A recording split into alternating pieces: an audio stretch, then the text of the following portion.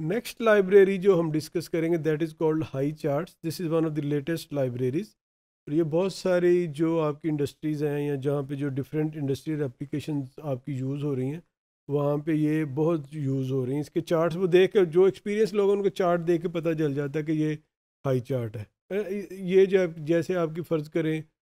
Power industry है या मेरी ये और ये जो आपकी इंडस्ट्रियल ऑटोमेशन है, जहाँ पे मैन्युफैक्चरिंग हो रही है वहाँ पे इनके चार्ट्स काफ़ी ज़्यादा पॉपुलर हैं और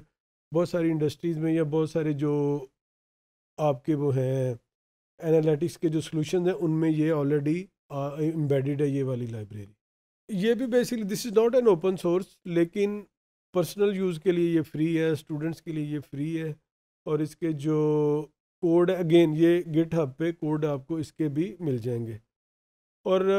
लंबी लंबी जहाँ पे आपके पास, मैंने अगर आपको पावर की एग्जांपल दी और इसके अंदर मास्टर्ड ये जो आपके मीटर्स होते हैं पावर इलेक्ट्रिसिटी के, अगर आप देखें किसी एक शहर में, किसी एक सोसाइटी में जो हज़ारों की तादाद में मीटर्स लगे होते हैं, उस तरह का डाटा या इवन के think about a big campus ये जो एनर्जी की मैनेजमेंट है ना कंजम्पशन स्पेशली उसमें भी ये ये चार्ट जो है, ये यूज़ होते हैं, जहाँ पे आपने बहुत बड़ी बड़ी बिल्डिंग्स के अंदर देखिए आपकी जो बिल्डिंग है ना पूरी, वो जोन्स में कन्वर्ट होती है रूम्स हैं या हॉल्स हैं, या वट एवर तो उनके पीछे फिर जो आपके सर्किट ब्रेकर्स हैं, जो पावर जहाँ से आपके पास आ रही है सारी, आप, आपने उसको रिप्रेजेंट करना है, आपने उसको देखना है कि ये मेरे किस एरिया में पावर किस तरह से कंज्यूम हो रही है, या कहाँ पे कम हो रही है, कहाँ पे ज़्यादा हो रही है, फिर उसको ऑटोमेटिकली भी वो कंट्रोल किया जाता है ये पावर की कंजम्पशन को या यूटिलाइजेशन को तो वहाँ पे ये चार्ट्स काफ़ी जो है पॉपुलर हैं उन एरियाज़ में। फिर प्रोग्रामिंग लैंग्वेज की कोई लिमिट नहीं है, आप इसको बेशुमार, ये तो मैंने बिल्कुल शुरू में कहा था कि इतनी फ्लेक्सिबल है ये सारी लाइब्रेरीज़ कि आप इनको किसी भी प्रोग्रामिंग लैंग प्रोग्रामिंग लैंग्वेज में यूज़ कर सकते हैं। और अगेन ये आपकी एक्सपर्टी पे डिपेंड करेगा कि आप कितने एक्सपर्ट हैं किसी एक टूल में। और वो फिर होता ही है कि वो फिर आपकी एक्सपर्टीज डेवलप हो जाती है तो then you feel comfortable in a particular you know technical environment और उसमें फिर आप वही चीज़ों जो चीज़ें हैं या वही जो टूल्स हैं उनको आप प्रेफर करते हैं उसी में फिर आप काम करते हैं। अब इसमें देखिए बेसिकली एक बबल चार्ट है। ये जो आपकी मल्टी डायमेंशनल डाटा सेट्स हैं, उसके लिए it's very easy to understand multidimensional का मतलब है कि दो से ज़्यादा भी आपकी डायमेंशन हो सकती हैं, तीन भी हो सकती हैं, चार भी हो सकती हैं। ये डिपेंड करता है कि अगेन आपके पास डाटा कहाँ से आ रहा है, कौन सा आपका डाटा सोर्स है and so on and so forth तो यहाँ पे भी आप देखिए कि लेफ़्ट साइड पे हमारे पास ये जो फ़ंक्शन है जहाँ पे इसकी वो प्रोग्रामिंग की गई है। और वो बताया गया है कि ये जो फ़ंक्शन है, इसमें हमने क्या किया? फ़िल्टर ऐड किए हैं। ये देखिए, यहाँ पे फ़िल्टर ऐड हो रहा है, यहाँ पे वेरिएबल रेंडर हो रहे हैं, ये फिर क्रिएट एलिमेंट क्रिएट हो रहे हैं यहाँ पे आपके। तो ये फिर आपने कलर भी सिलेक्ट किए हैं। ये R G B red green and blue ये जो आपका एक बेसिक होता है कम्बिनेशन वो आपने सिलेक्ट किया है। तो इसी तरह आपने यहाँ पे आके आपने एलिमेंट फिर क्रिएट किए हैं। तो इस तरह ये पूरा एक कोड है जिसकी बेस पे आपने ये अपने बबल चार्ट जो है ये प्रिपेयर किया है। अगेन इसमें यह कि आपने बेसिकली ये हो सकता है आपको कोड लिखना पड़े, हो सकता है ना लिखना पड़े। ये डिपेंड करेगा इन्वायरमेंट पे सिचुएशन पे। और यहाँ अगर, जैसे मैंने कहा मैनी सिचुएशन ये ये जो लाइब्रेरीज है ना, ख़ासतौर पे ये जो मैंने दोनों आपसे शेयर की, इससे पहले जो की थी फ्यूजन चार्ट्स और ये हाई चार्ट्स तो बहुत सारी एप्लीकेशन जो प्रोप्राइटरी एप्लीकेशन है ना, कुछ हम टूल आपसे मैं डिस्कस भी करूँगा। इसके अलावा बहुत सारे टूल्स ऐसे हैं, जो कि डिफरेंट इंडस्ट्रीज़ ने अपने लिए बनाए होते हैं, या कुछ वेंडर्स ऐसे होते हैं, जो स्पेसिफिक इंडस्ट्रीज़ के लिए काम करते हैं। तो वहाँ पे ये बिल्ट इन भी आपको मिल सकते हैं। तो you don't have to really worry about the code part of it right आपने अपनी जो डाटा पाइपलाइन है डाटा रेंगलिंग है, उस पर आप फोकस करें और ये चीज़, आपके जो चार्ट है सिंपली ऐसे, ये टूल्स में बेसिकली ऐसे भी है कि आपने सिंपली फ्रंट एंड पे जाना है। अपना डाटा सेलेक्ट किया, आपने चार्ट की टाइप सेलेक्ट की और वो that's it you have nothing you know more to do और स्पेशली इस तरह की सिचुएशन में फिर जो बिज़नेस यूज़र हैं दे फील मोर कंफर्टेबल और आपके पास डेफिनेटली एडवांटेज है एज ए डेटा साइंटिस्ट और एज ए डेटा इंजीनियर कि आप, क्योंकि दोनों साइडों को आप पूरा बैकएंड भी अंडरस्टैंड करते हैं, आप उसका जो मिडल वेयर है उसको भी अंडरस्टैंड करते हैं और जो उसका फ्रंट एंड है उसको भी अंडरस्टैंड करते हैं। तो आप कहीं पे भी जो भी एक्सपर्टी आपकी डिमांड करती है सिचुएशन आपसे अकॉर्डिंगली आप चीज़ों को मैनेज कर सकते हैं।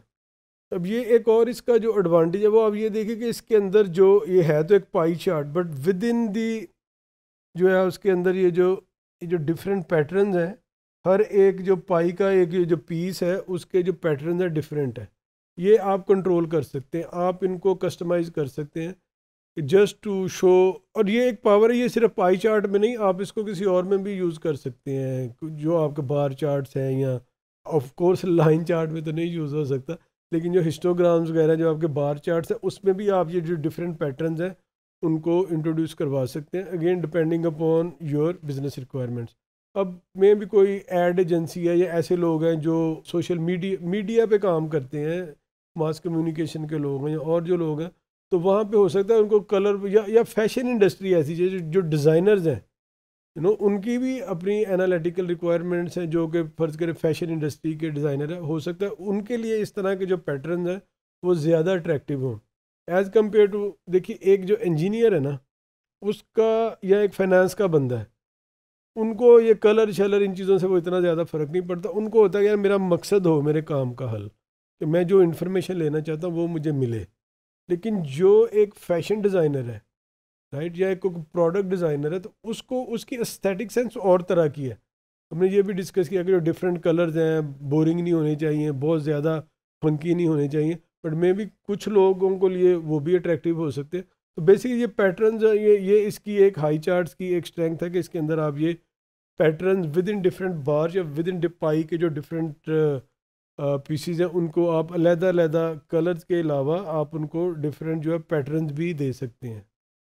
ये गैंड चार्ट्स हैं बेसिकली ये प्रोजेक्ट मैनेजमेंट में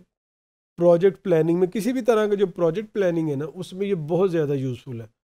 फ़र्ज़ करें कि आपने अगर एक घर बनाना है, आपने एक प्रोडक्ट लॉन्च करना है या आपने एक सॉफ्टवेयर डेवलप करना है software development itself is a project एक कंप्लीट प्रोजेक्ट है तो उसके अंदर फिर आप क्या करते हैं कि आप डिफरेंट एक्टिविटीज़ को प्लान करते हैं। अच्छा कि मेरी कोई भी एक्टिविटी जब ये देखिए अब आप इसमें, ये एक दिन का है और ये इसमें ये टाइम बेसिकली ये जो है ये टाइम मेंशन किया गया कि एटीन हंड्रेड आवर से लेके ये ज़ीरो आवर ये समझे ये आपका मिड नाइट है, ये दोपहर का टाइम है, नहीं मिड नाइट है, क्योंकि पहले ये बाईस फरवरी है, फिर ये आपकी तेईस फरवरी हो गई, ठीक है? तो अब ये ज़ीरो ज़ीरो आवर्स का मतलब मिड नाइट आपने अपनी जो जॉब शेड्यूलिंग की, वो किस किस वक्त आपने क्या किया? अब इसको अगर आप just to make it more easy आप ये देखें कि आप जब अपना कोई प्रोजेक्ट प्लान करते हैं, आप कहते हैं, जी, मैंने फ़र्ज़ करें एक सॉफ्टवेयर डेवलप करना है। या आपके पास एक data as a data scientist एक आपको डाटा सेट मिला है। साथ उन्होंने आपको प्रॉब्लम बता दी है। ये आपके पास फ़र्ज़ करें सेल्स का डाटा है, किसी एक कंट्री का, एक महीने की सेल्स का डाटा किसी एक ख़ास ब्रांड का, उसके ऊपर आपने एनालिसिस करना है। तो आप क्या करते हैं कि आप बेसिकली फ़र्ज़ करें, आज क्या maybe today twenty fourth of Feb